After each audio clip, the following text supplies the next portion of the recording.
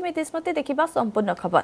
ନିର୍ବାଚନ ପାଖେଇ ଆସୁଥିବା ବେଳେ ବଙ୍ଗ ଦଖଲ ପାଇଁ ଷ୍ଟ୍ରାଟେଜି ଆପଣାଇଛି ବିଜେପି ଆଜି ବ୍ରିଗେଡ୍ ପଡ଼ିଆରେ ବିରାଟ ସମାବେଶକୁ ସମ୍ବୋଧନ କରିବେ ପ୍ରଧାନମନ୍ତ୍ରୀ ନରେନ୍ଦ୍ର ମୋଦି ସଭାରେ ଅଭିନେତା ମିଥୁନ ଦା ବିଜେପିରେ ସାମିଲ ହେବା ନେଇ ଚର୍ଚ୍ଚା ଜୋର ଧରିଛି ଏପରିକି ମିଥୁନଙ୍କୁ ନେଇ ପ୍ରଧାନମନ୍ତ୍ରୀ ବଡ଼ ଘୋଷଣା କରିପାରନ୍ତି ବୋଲି କୁହାଯାଉଛି ଦୁଇ ହଜାର ଚଉଦରେ ଟିଏମ୍ସିରୁ ରାଜ୍ୟସଭା ସାଂସଦ ହୋଇଥିଲେ ମିଥୁନ ଆଉ ଦୁଇ ହଜାର ଷୋହଳ ଡିସେମ୍ବରରେ ସଂସଦ ପଦରୁ ଇସ୍ତଫା ଦେଇଥିଲେ ଏହି ଭେଟେରାନ୍ ଅଭିନେତା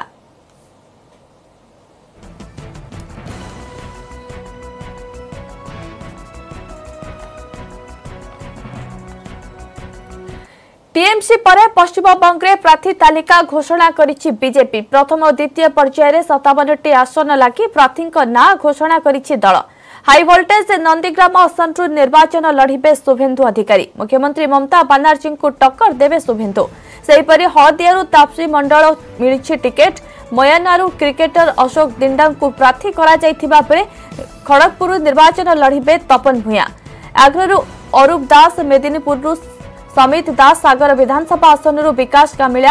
ചാന്ദിപുരു പുലക്കാന്തി ഗൗരിയ ദന്തനരു ശക്തിപത നായകുଙ୍କു പ്രാഥി കരായി ജൈചേ സെയ്പരി ഖുശിയാരി আসনের സോനാലി മോർമോ വിഷ്ണുപുരു തൽമൈ ഘോസ് തമൽ തമൽക്കർരു ഹരേകൃഷ്ണ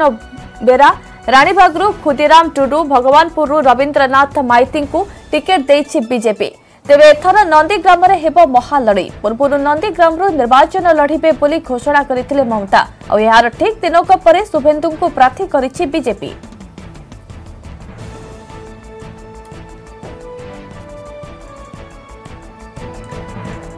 मोयना मोयना सीट महत्वपूर्ण है यहां से प्रसिद्ध क्रिकेटर श्री अशोक दिंदा को पार्टी ने प्रत्याशी बनाया है हल्दिया से श्रीमती तापसी मोंडल ये पहले विधायक थी तापसी मंडल पहले शिवाज एमएलए नंदीग्राम नंदीग्राम से श्री शुभेंद्रु अधिकारी जो पहले टीएमसी सरकार में मंत्री भी थे वह वहां से नंदीग्राम से चुनाव लड़ेंगी पार्टी ने उनको प्रत्याशी बनाया है श्री शुभेंदु अधिकारी ভুবনেশ্বর সিআরপি ছকরে যুবকঙ্কু হত্যা মামলা আজ দুই অভিযুক্ত ভাই সুধীর ও সাগরকু কোর্ট চালাণ করব নয়াপল্লী থানা পুলিশ হত্যাকাণ্ড সম্পর্কের উভয়ঙ্ঠার তথ্য হাসল করেছে পুলিশ তেবে ফেরার থিবা ড্রাইভরকু এপর্যন্ত ধরিবারে সক্ষম হয়নি পুলিশ অন্যপটে গাড়ি ভিতরে কিয়ে কিয়ে থিলে কাহিকি বচসা হয়েছিল সুধীর না সাগর কি কিয়ে টুকুনাকু মাড় করে চলন্তা গাড়ি ভিতরে হত্যা করা যাই কে ଏଭଳି ଅନେକ କିଛି ପ୍ରଶ୍ନର ଉତ୍ତର ଖୋଜୁଛି ନୟାପଲ୍ଲୀ ଥାନା ପୋଲିସ ସେପଟେ ଦୁଇ ଅଭିଯୁକ୍ତଙ୍କୁ ରାସ୍ତାରେ ଆକ୍ରମଣ କରିବା ଘଟଣାର ତଦନ୍ତ ବି ଜାରି ରହିଛି ଭିଡ଼ିଓରେ ଆକ୍ରମଣ କରୁଥିବା ଯୁବକମାନଙ୍କୁ ଖୋଜୁଛି ପୋଲିସ ସେମାନଙ୍କୁ ଚିହ୍ନଟ କରାଯାଇଥିଲେ ବି ଏପର୍ଯ୍ୟନ୍ତ କାହାରିକୁ ଗିରଫ କରିନି ତଦନ୍ତକାରୀ ଟିମ୍ ଗତକାଲି ଦିନ ଦୁଇ ପ୍ରହରରେ ସିଆର୍ପି ଛକରେ ଯୁବକଙ୍କୁ ହାଣି ହତ୍ୟା କରାଯାଇଥିଲା ପ୍ରାଥମିକ ତଦନ୍ତରୁ ଜଣାପଡ଼ିଛି ଗତକାଲି ମଧ୍ୟାହ୍ନରେ ଏକ ପିକଅପ୍ ଭ୍ୟାନ୍ରେ ଆସୁଥିଲେ ଟୁକୁନା ସେ ଗାଡ଼ିରେ ଯାଇ ବସିଥିଲେ ଦୁଇ ଭାଇ ସାଗର ଓ ସୁଧୀର କୌଣସି କାରଣକୁ ନେଇ ଟୁକୁନା ସହ ଏମାନଙ୍କର ପ୍ରବଳ ଯୁକ୍ତିତର୍କ ହୋଇଥିଲା